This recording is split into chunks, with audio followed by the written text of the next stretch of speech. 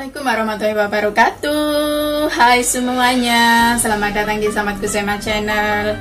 Hari ini saya mau berbagi resep Cara membuat puding kaca Atau uh, puding cermin buah. Cara bikinnya mudah banget ya. Bahan-bahannya pun simple banget. Yuk kita ke dapur Gimana cara membuat puding cermin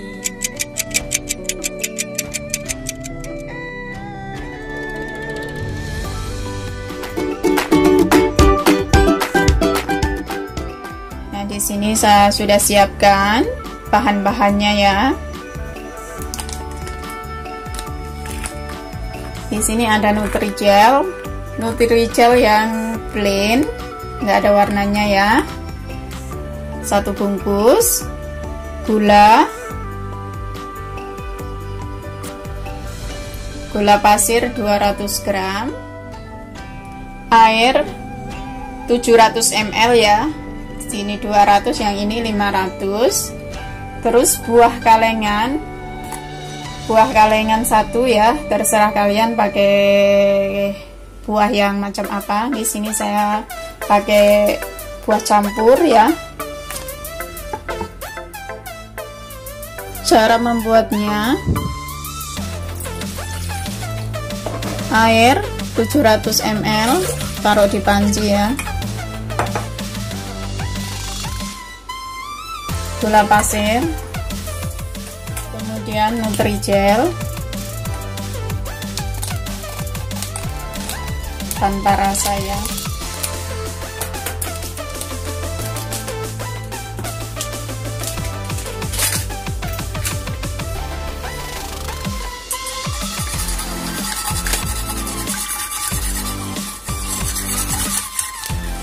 Aduk sampai rata ya biar tidak gerindil ya.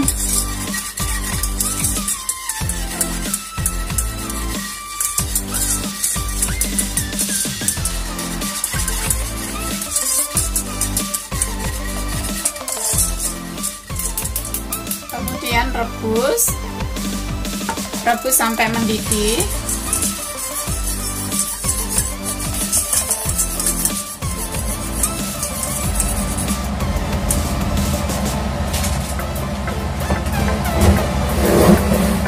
sambil menunggu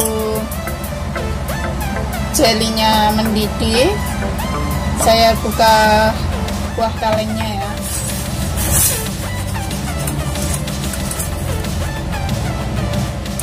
Buah kalengnya sudah saya buka. Nah isinya.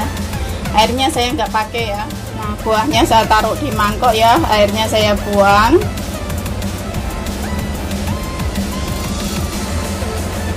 kemudian siapkan cetakan. Ya sudah mendidih ya. Jelinya sudah matang. Matikan kompornya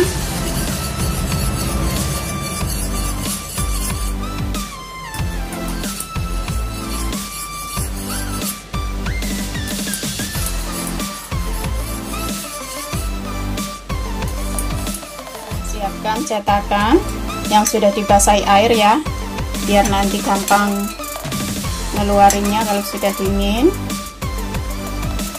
Nah tuangkan sedikit agar-agar dulu di bagian bawah ya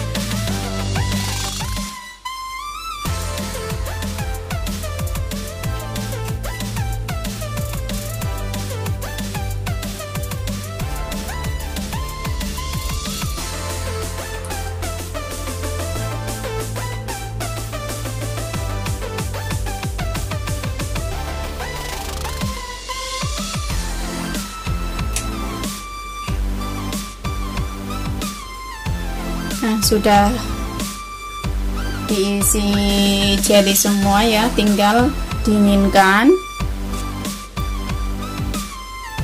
Nanti setelah dingin taruh di kulkas.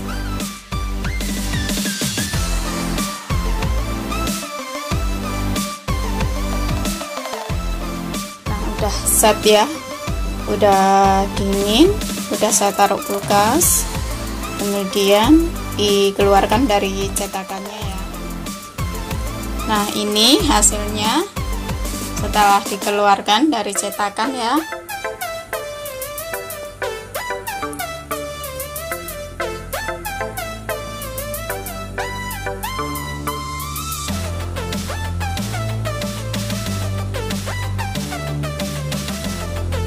Cara buatnya mudah banget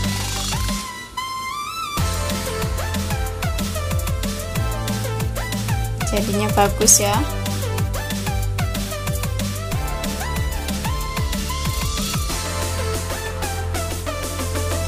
Silahkan teman-teman coba bikin ya.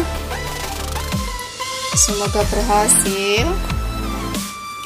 Oh ya buat teman-teman yang belum langganan silahkan tonton videonya. Kemudian subscribe. Jangan lupa ditekan tanda loncengnya ya. Lalu komen like dan share. Wassalamualaikum warahmatullahi wabarakatuh. Nantikan resep-resep selanjutnya. Bye